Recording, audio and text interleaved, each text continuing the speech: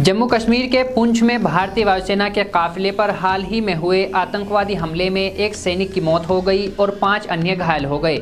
इसके बाद social media site x पर एक यूज़र ने एक पोस्ट शेयर कर लिखा, ब्रेकिंग अभी एक भारतीय वायुसेना के एयरमैन ने बख्तरबंद वाहन उपलब्ध नहीं कराने पर अपने कमांडिंग ऑफिसर को गोली मार दी। डी फ्रैक टीम ने वायरल दावे के संबंध में गूगल पर एक कीवर्ड पड़ताल की और पाया कि उपरोक्त दावे का हवाला देते हुए किसी भी मीडिया आउटलेट द्वारा ऐसी कोई भी रिपोर्ट प्रकाशित नहीं की गई है।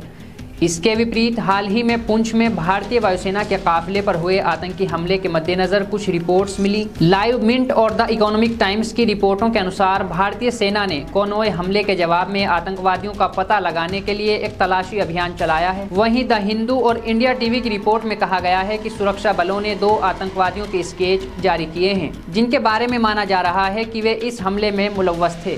डी फ्रेक के फैक्ट चेक से ये स्पष्ट है की भारतीय वायुसेना कर्मियों द्वारा अपने कमांडिंग ऑफिसर को गोली मारने का वायरल दावा पूरी तरह से फेक है, क्योंकि उपरोक्त दावे की रिपोर्ट करने वाला ऐसा कोई मीडिया लेख नहीं मिला है।